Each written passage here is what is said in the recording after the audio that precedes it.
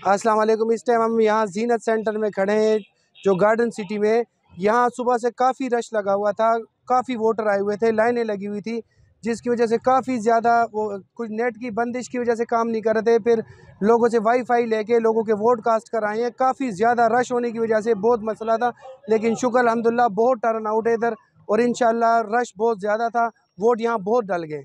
और इन ताला अभी भी और लोग आ रहे हैं, जिस कोई मुश्किल हो रही है सिर्फ़ नेट की वजह से कि ये नेट खोल देते, नेटवर्क होता तो काफ़ी लोगों से और रबते होने थे, जिससे लोगों के वोटिंग का पता नहीं चल रहा कि किसका वोट कहाँ पे अक्सर यहाँ के वोट एक सौ इक्यावन में निकल रहे हैं, एक सौ इक्यावन वाले एक सौ बावन में निकल रहे हैं तो ये मुश्किल हो रही है। अगर नेट ऑन होता तो काफ़ी और भी वोट कास्टिंग होनी थी।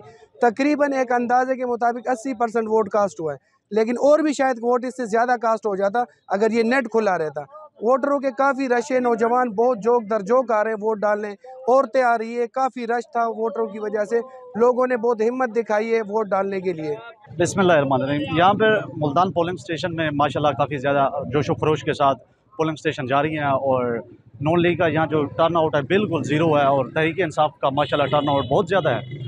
और उसके अलावा दो करोड़ जो न्यू वोटर्स यंगस्टर है ना वो, माशाल्लाह, उनका सारा रुझान जो है ना, एटी परसेंट रुझान इमरान खान की तरफ़ है। और बाकी रही बात, इसके, मैं भी खुद वोट देने आया था तरीके इंसाफ को, और वोट कास्ट किया अभी। और उसके अलावा जी टर्न आउट जो, माशाल्लाह, बहुत बेहतरीन जा रहा है, और हमारा कैंडिडेट है मलिक ताहिर टोकर इंतबी निशान है हमारा हवाई जहाज़। लोग माशाल्लाह, आ रहे हैं धड़ धड़ आ रहे हैं, ठप्पा लगा रहे हैं हवाई जहाज़ के ऊपर इन ये रिज़ल्ट आपको, जब भी आएगा रिज़ल्ट शाम में आ जाए, कल में आ जाए इन अच्छा रिज़ल्ट है, लोग धड़ धड़ आ रहे हैं, लाइनें लगी हुई हैं। ब्रॉडकास्टिंग हो रही है। माशाल्लाह बहुत अच्छा प्रोटोकॉल है। और हर तरफ़ मतलब कि किसी एक पार्टी नहीं सारी पार्टी माशाल्लाह खूब वर्क कर रही हैं। अब रिज़ल्ट जब आएगा इंशाल्लाह सब कुछ चल जाएगा। थे ये पीटीआई के नुमाइंदगान इधर मेरे साथ मौजूद हैं। हालाँकि हमें हुकूमती इदारों ने सरकारी मशीनरी ने हमें कंपेन की इजाज़त नहीं दी लेकिन फिर भी सोशल मीडिया के ज़रिए अल्हम्दुलिल्लाह हमने बहुत अच्छी कंपेन की और उसका रिज़ल्ट इंशाल्लाह शाम को हम विन करके विन करके देंगे। इन हुकूमत भी देखेगी, सरकारी मशीनरी सारी इस्तेमाल हो रही है।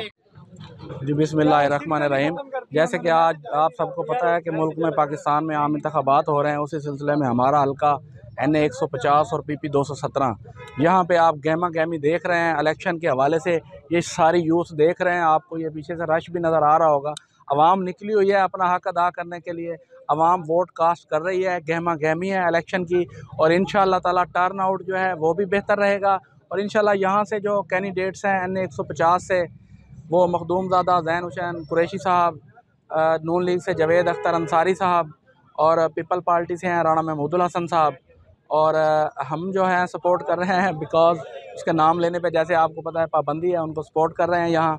और यहाँ पे एमपीए के जो कैंडिडेट हैं, नदीम कुरैशी साहब, मलिक ताहिर डोगर साहब, शेख तारक रशीद साहब, ये सारे इन ताला टर्न आउट अच्छा है यूथ निकली हुई है।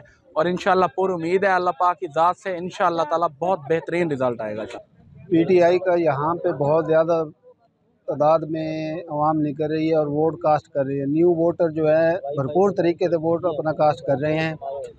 और हमारी पूरी कोशिश है कि पी टी आई यहाँ से विन हो और इन दैन दैन हुसैन कुरैशी और नदीम कुरेशी साहब यहाँ से विन करेंगे। और न्यू वोटर अपनी बड़ी तादाद में यहाँ से निकल के वोट कास्ट कर रहे हैं। खातन भी बड़े पुरजोश तरीके से वोट कास्ट कर रही हैं और भरपूर तरीके से। लेडीज़ ने और न्यू वोटर ने बहुत ही तावन किया और पीटीआई को यहाँ से इंशाल्लाह विन करवाएँगे। इंशाल्लाह। इंशाल्लाह।